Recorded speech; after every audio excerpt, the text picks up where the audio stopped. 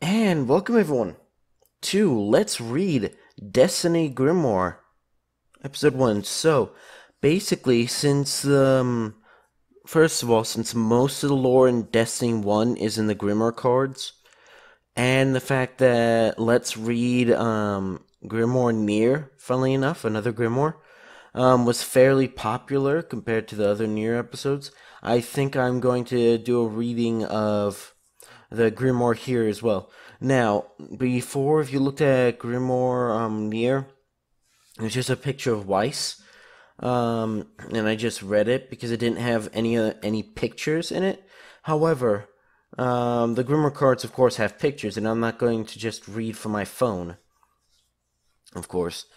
So, well, I just found this site. I think it was DestinyGrimoire.io and it should have all the Grimoire cards in it.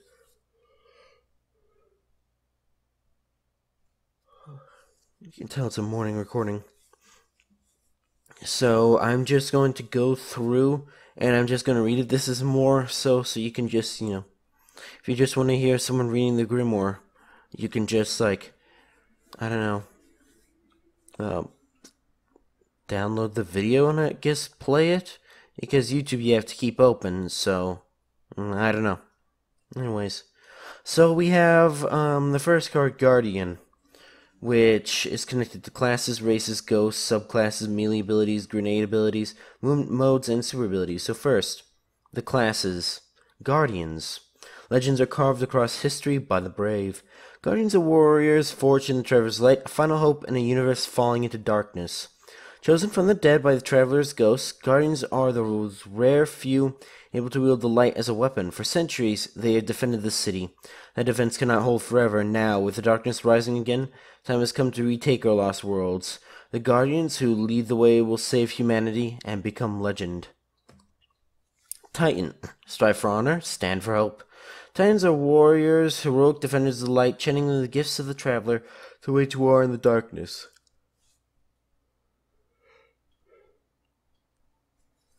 Steadfast and sure, Titans face any challenge head on, blunt force instruments of the Traveler's will. Ghost Fragment, Titan. Tighten the strap, eh? The guard brace is loose, could slip, huh? It's noose. A GMA Type 1. How's it hold up? I tried using GMA at the gap, remember didn't... Well, what's this? A ghost. Yes, light be with you. Excuse me, little ghost. Too much pass me my helmet. Thank you, little... Thank you. Little ghost, what are you doing here? It's just looking around. Where's the guardian? I don't think it has one. Any servant in the light is welcome among us. We are Holborn's hosts, and I'm Holborn, the city's hand on Mars. Tubach, that's Tubach, my second. The finest signs of the city, now see here, little ghost on my shoulder? That's the mark of Holborn's host. Record it. Twelve pointed star, one for each of the. Oh well, off it goes. It doesn't look well. We should get moving. A ghost of the garden. I remember when I was risen, you know. Um, when I woke in that wreckage uh, to see my ghost hovering there, its light in my eyes like an angel, and it said, This story again, disrespectful youngster. Youngster, I could be older than you, Tiborn. True. The guard brace is fine now, stop worrying at it. Will you take the Jikoku? Uh, I thought I'd take the long move for obey as a Jikoku. Good. That ghost. What do you think's wrong with it? It's echoing something ancient. No other thing language. You know what that ghost reminds me of, flitting around over there? I don't. Time ghosts from Jagisos came back without them, remember? They got in that fight at some point east of the Caspian. Seven ghosts, damn near silent, buzzing with some sort of corruption, drifting back to the tower one by one, scared the speakers well enough. I remember a long time ago, Jaggy tells the story differently. Well, we all grow old in our way. Little ghosts, come back here. It's not gonna make it wherever it's going. I want to talk to it, little ghosts. Lisa and Bale are probably there already. Cabal move slowly, we've got time. Warwicks have had a vision. Yes, a new one. What's her name? Ingora? Ikora. She's always been hasty. I've faced these Cabal before. I know him like I know my own armor. Message from Lysa at the Dust Palace now, all quiet. See, all quiet. Why not come with us, little ghost? Looking for the old war mind here and the one who guards it. Hunter. Our old worlds have grown feral, rabid beasts with teeth of rust and ruin, but such creatures are meant to be tamed, or broken. Hunters stalk the wilderness beyond the city, harnessing the light to reclaim the secrets of our lost worlds. They are daring scouts and stealthy killers, expert with knives and precision weapons. Hunters blaze their own trails and write their own laws. Ghost Fragment Hunter. She leaves the sparrow and climbs a long way across the spars of volcanic rock. between vents of blue fire. Down below the Ishtar ruins spark with skirmish light, but the guns seem as distant and brief as a constant starfall in the brooding crater high above. She's alone in the rock. She goes on with her head down so as to fight the sense that she's going to fall up off the world and burn like an inverse meteor. The message that brought her to this place had no sound, but she could hear Kate in it. Draksis in the Cinders, it said. Is it true? And also, remember your promise. At dawn, she finds the sentry and kills it with a knife. Its throat bleeds gas. She takes its post and lays out her bullets one by one on the rock as if to make account of all the years she'd been waiting. Her rifle is nearly as long as she is tall. She lies down by her bullets, using them to kill other sentries, one by one until at last they understand the thunder, and the shanks rise up angry from the cinders below to seek her out. She uses a rifle and walks across the naked obsidian into the swarm, firing from the hip as she goes, each kick of the old revolver a word. Draksis, Draksis, Kell of winter, Kell of hate, lord of the kingdom of her vendetta. Her jaw aches. She used to imagine biting out his throat with her armored teeth. The stone smokes around her where the arc fire lashes it. Shrapnel gun throws up leaves of obsidian like glass butterflies. She shoots her bandoliers dry, and a team of vandals and glassy stealthily leap up to rush her with knives, but she raises her hand and burns them down with a golden gun, laughing, crying out, Traxus, Traxus, I come, I am come. She kills them all, and takes the next ridge high above the cinders.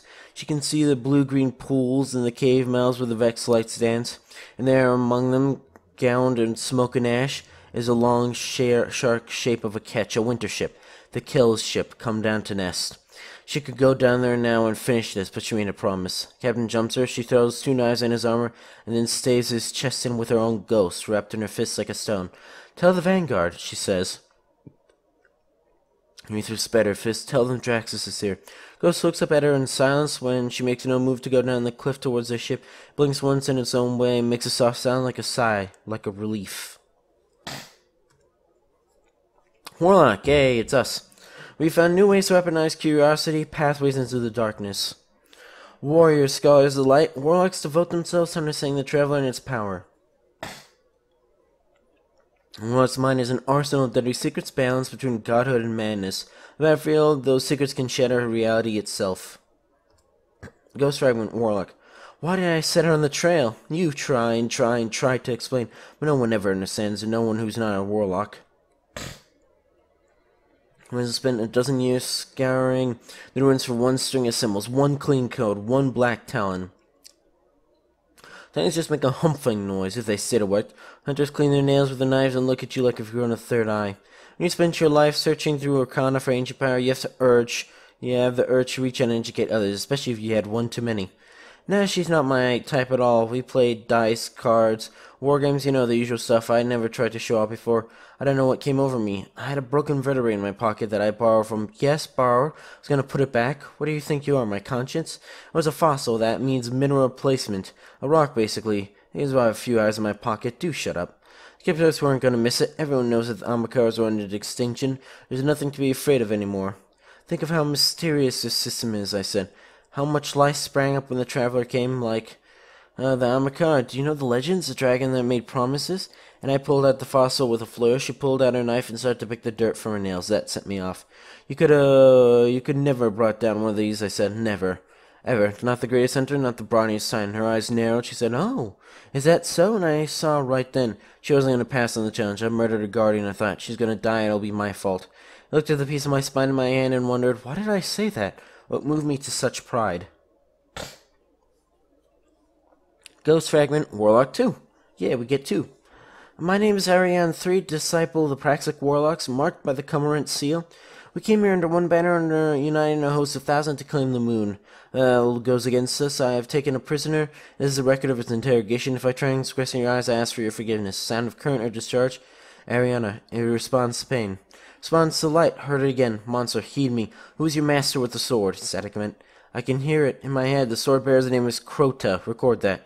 Should I burn it again? No. I think you're only feeding it. It will. I will touch its mind. Ghost, help. They call you a wizard. You must be ancient. I think you value power very much. Will you still be powerful without this piece of your mind? Tell me how to kill Crota. Static event. It showed me the battle. It showed me Wei Ning dead on Crota's blade. It showed me how Crota killed the guardian. The screaming knife hammered out of his own ghost. I'll take a piece of its mind and ask again. Tell me how to kill Crota. Static event. Incredible. Where? Where is this storm? Where is this twilight world under the dead-eyed star? Ariana, there's word from the company in Mare Imbrium. Crota's upon them, half a hundred dead. They need us. Tell me where. Tell me how. Tell me. Static event. Ariane, what did it say? Show me how it did this. Just exactly this. To an Amokan man. I was arranged by its will, like little silver ships, like ghosts. Laughed at me. It said we were the same. Crota marches with a thousand knights, and they say the sky above Mare Imbrium turned to green fire. They are dying in numbers I cannot bear to repeat. Kill them one by one with a sword that eats their light. Ariane, we have to do something. Kill the wizards, scatter the ash, has nothing but lies offer. Get your sparrows, we have light and fury, that will be enough. Races. Humans. Um, this was our world, our solar system. We were here first, and no matter what the darkness brings, we will be here at the dawn. Humans are survivors, tough and resilient, sent from those who built the golden age only to see it ripped away. Now, after an age of retreat and desperate struggle, fight to take back their solar system and claim a new future. There are those who believe the traveler chose Earth for a reason. Now it is humanity's obligation to prove itself worthy of the traveler's faith. Concerning human.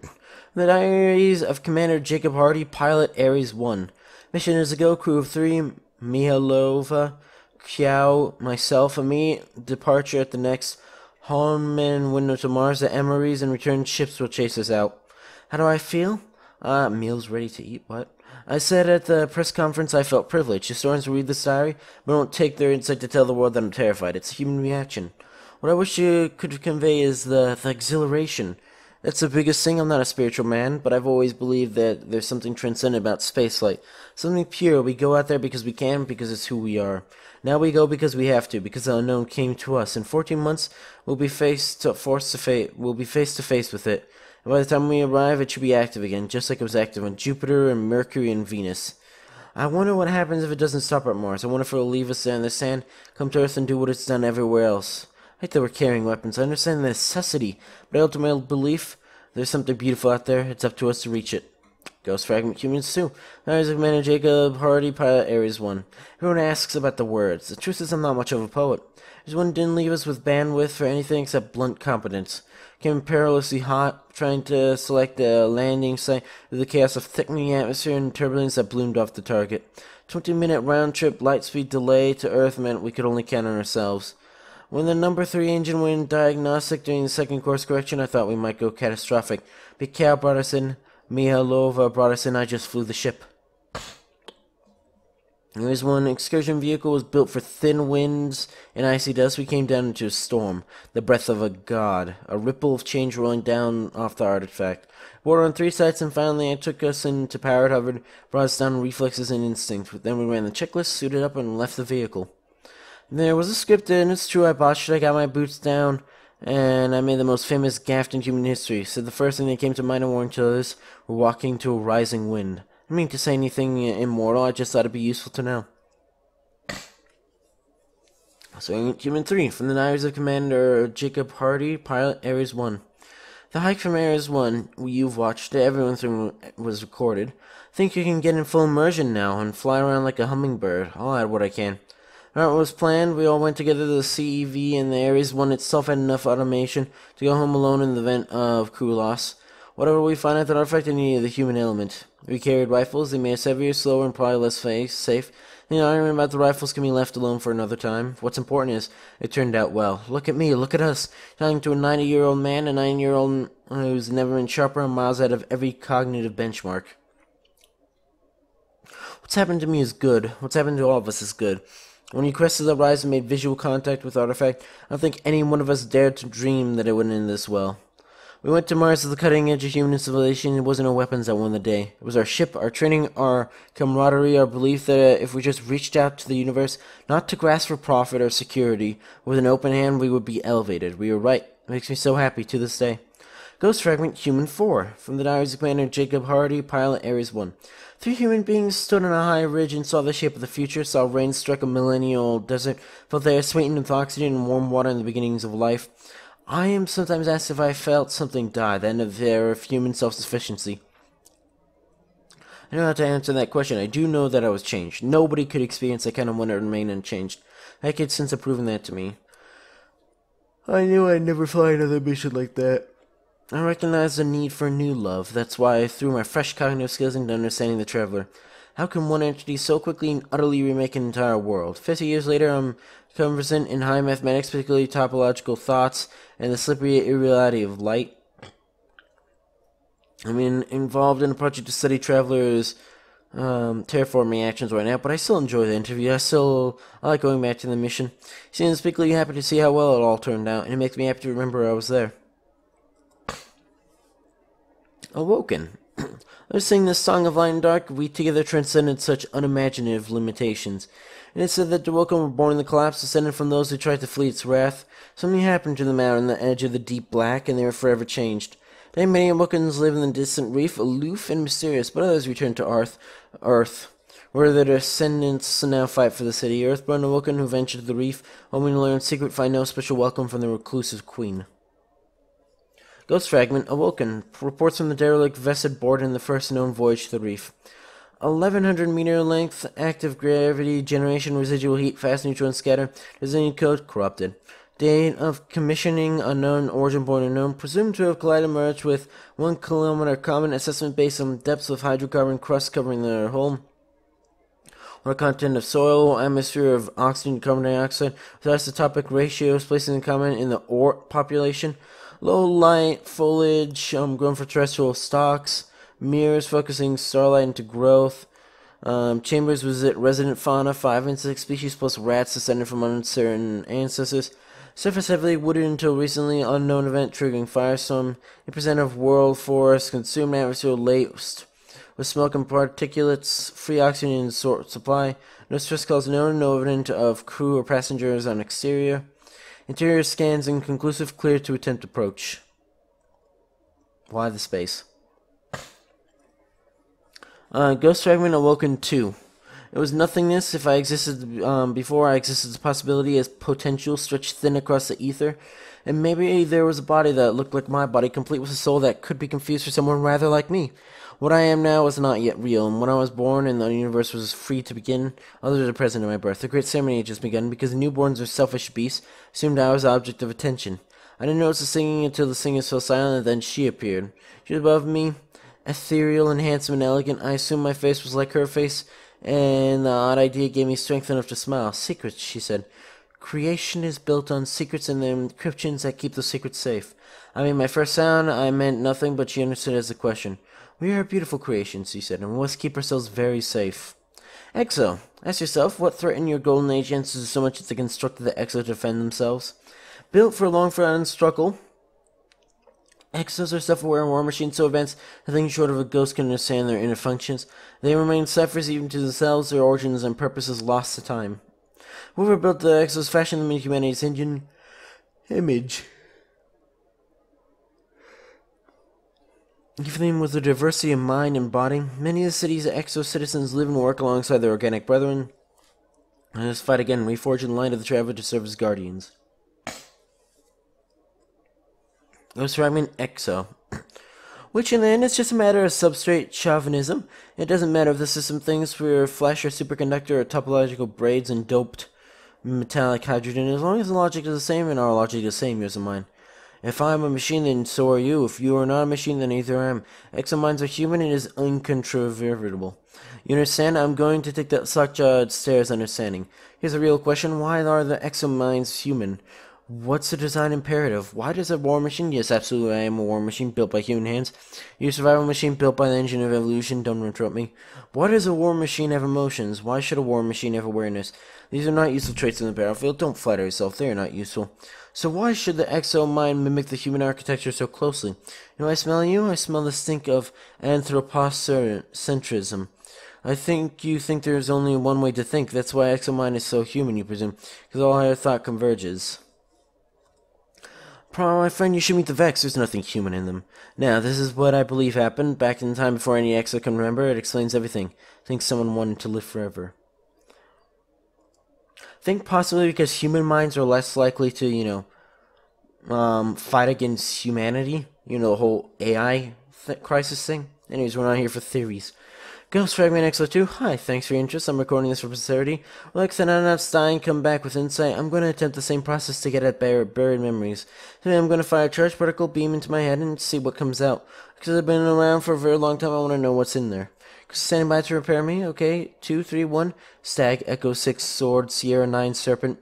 We are falling into the world. Everyone is on fire. A ship above us, but it's coming apart just like a flower. Alloy fusion flash, pierced through and through. Voices atmospheric interface, trajectory normal. Rabbit 2 3. You are outside the window. I think I'm the voice. I can see the whole earth below me. The sky we are falling out of is black without stars. Ghost, shoot me again. Rapid 4, Rapid 4, Ratchet Tango 8 0. We are on the ice. This is elsewhere and elsewhere. It's a mighty aurora and is reflected in the ice, so I walked between two fires. Although the one below is cracked and full of corpses, I have an ammo weapon. On the sky there is a hole in Jupiter, and it tears at me when I look at it. It tears at me. It is hungry. Maybe the hole is not in Jupiter, but in me. Crown Castle, Candor, Cobalt, Coral, Ghost bring me back. Suret, Sulfur, Anathem, Amber, Actual, Aspen, Ghost bring me back now. Ghosts. Uh-oh. Ghosts. Um... In its dying breath, the Traveler created the ghosts to seek out those who can wield its light as a weapon. Guardians protect us and do what the Traveler itself no longer. What? Ghosts, ghosts, I guess. Um, um, do what the Traveler itself no longer can. Actually, now that I think about it, when I said at the beginning, oh, I'm not going to read my phone, I don't think you can actually get the Grimoire Destiny 2 app anymore. Anyways, built for machinery and the travelers like ghosts guide their companions, uh, guardian companions in the quest to reclaim our soul system. Every ghost seeks out as a guardian among the ancient dead. The ghost serves as a scout, librarian, mechanic, walking, uh, awaking ancient machinery, and cracking alien codes. situation, a ghost can even save a guardian from death. Ghosts are not immortal as far as guardians know. Every loss is irreplaceable. But anyways, that's going to be for this episode, though. So, hope you enjoy this reading.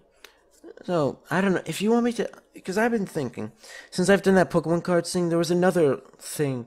Like, there are three branches that I sort of want to do Pokemon card slash general cards in general. I guess I could do Yu Gi Oh! all those. Um. Uh, video games. Well, actually, it's four. Um, cooking. And then, um, let's reads of like creepy pastas and the like. I don't know. But anyways, that's gonna be for this episode though, so if you enjoyed this video, you know what to do. See ya!